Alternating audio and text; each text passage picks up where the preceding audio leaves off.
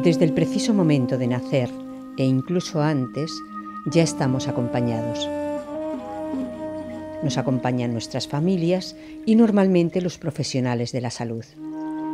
Comienza el apego, tan necesario para sobrevivir, y también el desapego, dando paso a una danza en la que ambos estarán más o menos presentes a lo largo de nuestra vida. Nacemos muy vulnerables, dependientes del mundo que nos rodea, y así nuestro viaje comienza, aprendiendo con otros y de otros, recogiendo la historia y construyendo la propia. El principio y el final de la vida son situaciones de emociones intensas y de mucha fragilidad física. Ambas experiencias son de gran trascendencia para las personas que las comparten. Cuando ya es muy improbable la curación, cambian las prioridades. Lo afectivo y lo espiritual se convierten en lo más importante. Y aunque es cierto que el tiempo de la vida se acorta, también se puede ensanchar. Es posible vivir una vida entera en pocas semanas. Los enfermos suelen reconsiderar lo fundamental de su existencia. Buscan reconciliarse y despedirse. Necesitan establecer qué dejan a los demás como legado y plantearse, de acuerdo con las propias convicciones, el sentido de la vida y la trascendencia. Lo peor ya no es que te digan que tu madre tiene cáncer. Eh, para mí lo peor fue que me dijeran que además de que tenía cáncer, eh, no se podía hacer nada, absolutamente nada por ella. Pues mira que te digo, me dio un remeneo en el cuerpo, tú me entiendes, ¿no? Pero ya está, ya está, esto es mío. Lo tengo y se ha acabado. Cuando el desorden inicial, debido al impacto de la noticia, se va superando, es el momento de organizarse y tomar decisiones. Toda la familia queda afectada porque es necesario atender al enfermo y reemplazarlo en las funciones que cumplía antes. En la familia, si se mueve una parte, todo el conjunto se mueve al unísono para compensarlo. Es importante que el enfermo comparta toda la información y pueda tomar sus propias decisiones. Son las decisiones que, que fuimos tomando. Yo me atrevo a decir eh, que la, si no el 100%, el 98% las tomó mi padre. Los cuidados paliativos son los cuidados destinados más específicamente a aliviar el sufrimiento, a mejorar calidad de vida, dar confort a los pacientes y a sus familias, amigos y entornos que los cuidan. En nuestro caso es un equipo de atención domiciliaria, trabaja viendo a los pacientes, atendiendo a los pacientes fundamentalmente en sus casas. Las necesidades que tienen las familias de cuidado son, primero, el saber que pueden hacerlo.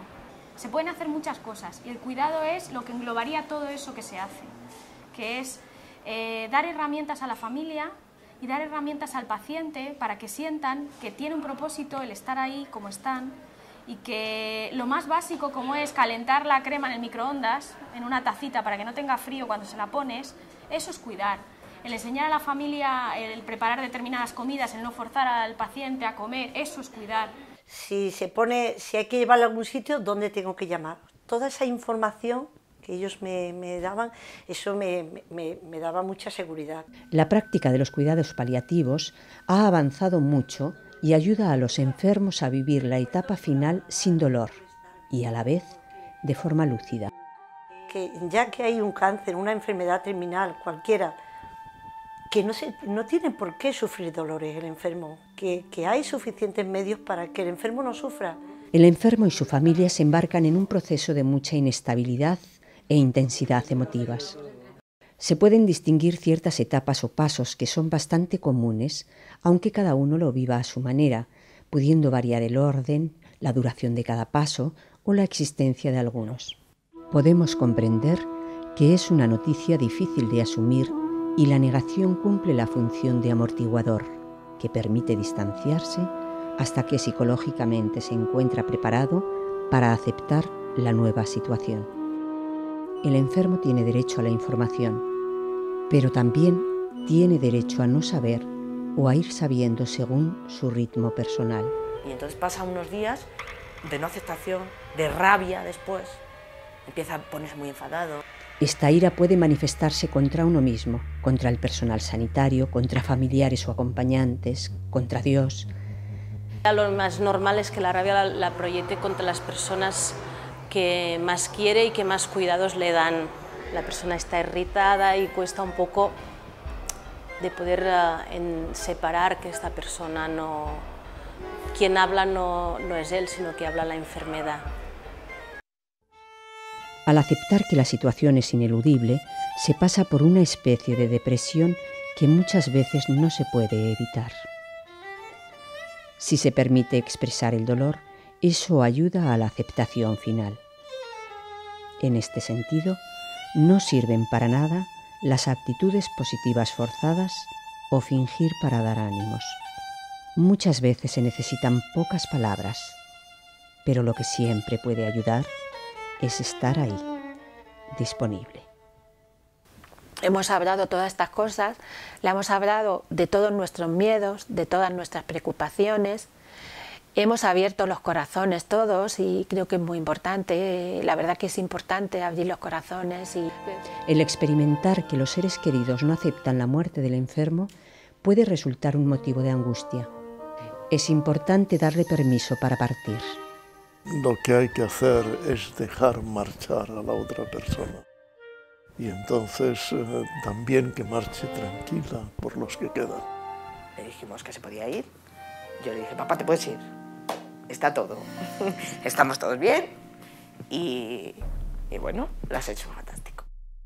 Y bueno, tras muchos días de pasar esa, esa mm, agonía con Carlos, de, esos dolores tan fuertes y pasar esos días que para nosotros fueron muy grises y muy oscuros, fue llegar el equipo de paliativos y de golpe en la casa, pues yo la sensación que tuve es que, que llegó el sol, llegó el sol, llegó la, luz. Los equipos de cuidados paliativos eh, a mí me han servido estupendamente, bueno, de forma increíble porque me han tratado como son mis ángeles terapéuticos, la verdad. Hombre, ahora me ayudan con cariño.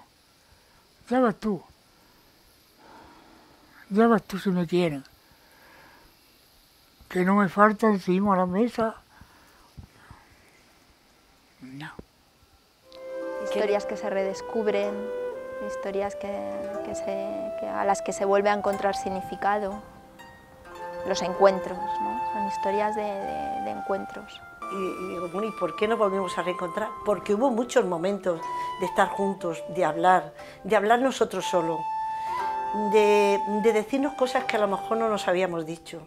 Cada persona es distinta y entonces es una adaptación también a un conocimiento de las necesidades de aquella persona, pero siempre se puede preguntar, ¿hay algo que creas que te pueda ayudar? acompañar simplemente estando allí, disponible. Pero cuando la enfermedad nos para, de repente empiezan a surgir muchas preguntas. Preguntas que tienen que ver con algo tan sencillo de por qué me ocurre a mí esto, de si era el momento adecuado, porque parece ser que era una edad que a lo mejor no tocaba el estar parado por la enfermedad o el estar próximo a la muerte. O nos preguntamos si uno ha hecho una vida medianamente buena intentando hacer el bien a su alrededor y uno se siente injustamente tratado por la vida con estas enfermedades. Bien, estamos en un escenario donde aparecen preguntas por el sentido, preguntas por los valores, preguntas también con respecto si, si me encuentro en paz eh, con mi relación con los demás, mi relación conmigo mismo o mi relación con un ser trascendente. Muchas personas creen que no pueden ayudar al ser querido porque no saben qué hacer, qué decir, porque se ponen de manifiesto sus temores y piensan que no tienen nada que aportar. Pero el solo hecho de escuchar y acompañar ya es de gran ayuda. Cuando las personas se sienten y nos sentimos escuchadas, acogidas, en esos procesos como si se libera el espíritu, como si se libera el alma. La proximidad del final suele conllevar una reconstrucción de la propia vida. Se valora lo que se hizo, lo que se dejó de hacer, Encontrarle significado, sentir que su vida mereció la pena, ayuda a recomponer la propia biografía apoyándose en lo más positivo. Entonces, eh, el poder revivir eh, de alguna manera momentos eh, que han sido felices. También se revisa el legado, lo que se deja a otros al partir. Lo que uno hizo puede continuar en la familia, pero también se puede tratar de un legado intelectual o artístico, de un avance social o de tipo profesional, etc. Se experimenta la necesidad de cerrar el ciclo vital. Y también la reconciliación con, otras personas, sobre todo personas que uno quiere, ¿no? pero con la vida, las cosas que uno ha hecho o las cosas que uno ha dejado de hacer. Si tenéis la, posibilidad de despediros de, de una persona que sabéis que va a fallecer, si pasáis esa situación que tratéis de despediros de él y que tratéis de comunicaros con él y con el, resto de la familia. Me parece importante para luego, cuando esa persona falta, poder llevarlo muchísimo mejor. La experiencia de nosotros. No considero que esto haya podido salir adelante sin el apoyo, el apoyo, la conexión, la unión entre tanta gente que, que me ha estado acompañando. En medio, de, en medio de la tristeza, en medio de la pena y en medio del, del dolor emocional, ese punto en el que, en el que aparece la conexión y aparece la, la sonrisa la sonrisa serena de, los pacientes en muchos momentos, aunque parezca mentira. Declaraciones de amor más bonitas las he visto yo en, parejas que se están despidiendo, parejas que, que se están cuidando en la última fase de enfermedad.